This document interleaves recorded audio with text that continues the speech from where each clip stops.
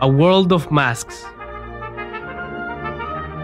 In a town in Italy, something strange.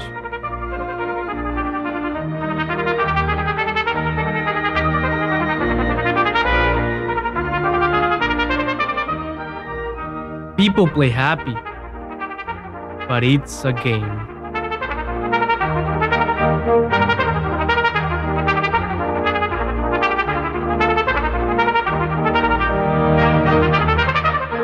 Emotions empty, everybody looks the same.